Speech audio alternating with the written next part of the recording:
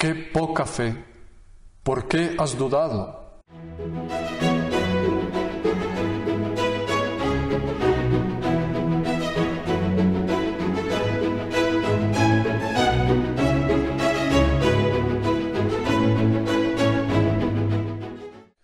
El Evangelio de hoy, según San Mateo, nos narra una escena lindísima que muchas veces se repite en nuestras vidas.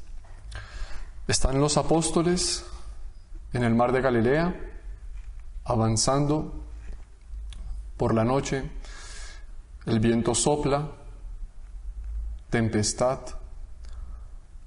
la barca se tambalea, parece que se van a hundir. Y nuestro Señor estaba a solas en el monte. Él mismo decide acercarse a los apóstoles caminando sobre las aguas. Ellos se asustan, se llenan de miedo, dice aquí San Mateo. Se asustaron y gritaron de miedo, pensando que era un fantasma. ¿Qué les dice nuestro Señor? Ánimo, soy yo, no tengáis miedo. ¿Cuántas veces estas palabras las quiere pronunciar nuestro Señor en el fondo de nuestro corazón? Pero nos dejamos tomar por el miedo, por el susto, por la inseguridad. ¿Qué será lo que va a pasar? Hay circunstancias en que los vientos soplan fuerte y parece que nos vamos a hundir. Ánimo, soy yo, no tengáis miedo, nos dice nuestro Señor. No tenemos por qué temer.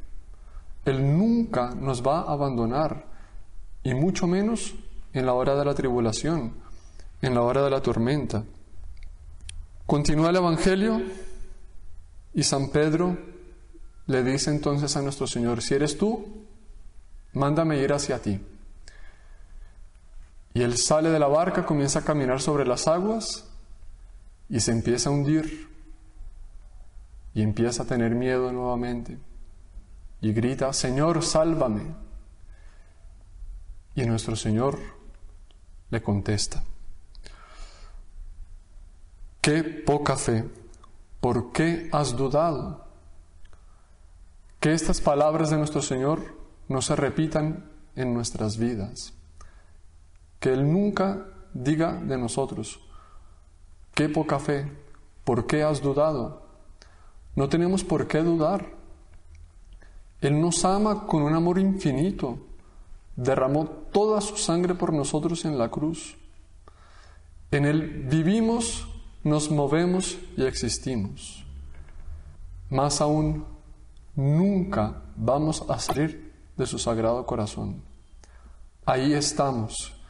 Y de dentro de ese corazón Él nos contempla con cariño, con afecto, con bondad, siempre queriendo ayudar, siempre queriendo proteger. Solo que hay circunstancias en la vida en que Él quiere poner a prueba nuestra fe y nuestra confianza, como lo hizo aquí con los apóstoles. Son esos momentos en los que no podemos tener miedo y no dudar de Él. Confiar, confiar, confiar. Estamos en ese sagrado corazón y Él nunca, nunca nos abandonará. Y la bendición de Dios Todopoderoso.